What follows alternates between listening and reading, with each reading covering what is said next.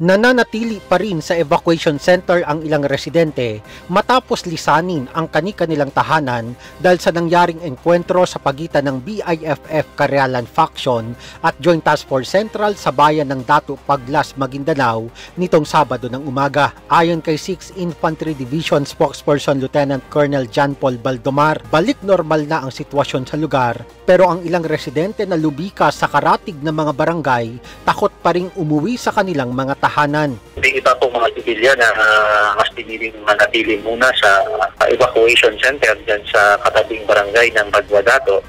Uh, dahil na rin po sa takot na kanilang experience sa uh, pangyayari nung Sabado na umaga. Pinabulaanan naman ng opisyal na may hostage taking na nangyari sa sentro ng Dato Paglas. Hindi rin anya nakubkob ng BIFF ang poblasyon market, kundi sa tabing ilog lamang nangyari ang bakbakan kasunod ng hot pursuit operation na inilunsad ng militar dalawang linggo na ang nakalipas laban sa tinatayang dalawampung bandido. Ang poblasyon daw po ang naging sentro ng inkwentro. Wala pong katotohanan dyan dahil ito mga armadong grupo ay hindi naman talaga nakapag-occupy dyan sa sentro ng poblasyon.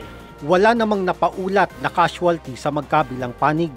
Samantala, nagdagdag pa ng puwersa at checkpoint ang militar sa lugar upang pawiin ang pangamba ng publiko sa posibleng pag-atake ng bandidong grupo.